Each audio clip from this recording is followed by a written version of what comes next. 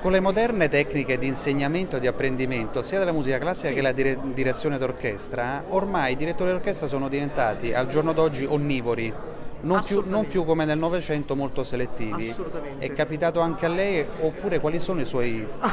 comp- Devo dire che eh, assolutamente proprio sono reduce da un concerto che abbiamo fatto per la RAI neanche 20 giorni fa in cui mi sono trovato a, a dirigere tutte le colonne sonore di film, eh, che è una cosa anche un po' strana perché di solito per la nostra preparazione tra virgolette classicheggiante noi saremmo anche tenuti per un motivo quasi potremmo dire deontologico no? a rispettare quella che è la sacralità della musica perché chiaramente la musica classica è la musica classica, la musica da film, comunque la musica possiamo dire un pochino più commerciale e di tutt'altro genere. Ma